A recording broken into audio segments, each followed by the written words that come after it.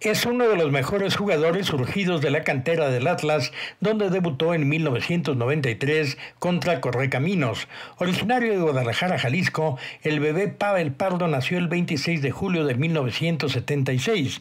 Pasó por los tecos de la Autónoma Tapatía y en el torneo de invierno 99 fue adquirido por el América, donde se volvió titular indiscutible. Logró los títulos de verano 2002 y clausura 2005. En total participó en 19 torneos con 27 goles en 310 partidos. A nivel selección, Bora Milutinovic lo debutó el 31 de agosto de 96 en el partido Francia 2, México 0.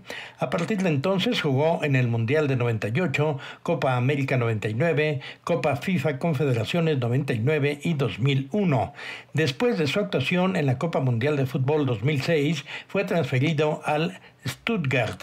Es el primer mexicano en anotar un gol en la Bundesliga, lo cual ocurrió contra el Werder Bremen en 2006. Su primer gol en la UEFA Champions League lo anotó contra el Glasgow Rangers. A nivel de clubes participó en más de 430 juegos y tiene más de 34 goles en su cuenta. Para el clausura 2009 volvió al América y luego de dos temporadas y media decidió emigrar a la MLS para jugar con Chicago El 19 de enero de 2013 se retiró de las canchas para poder dedicarse a su familia. Feliz cumpleaños número 45 al bebé Pavel Pardo.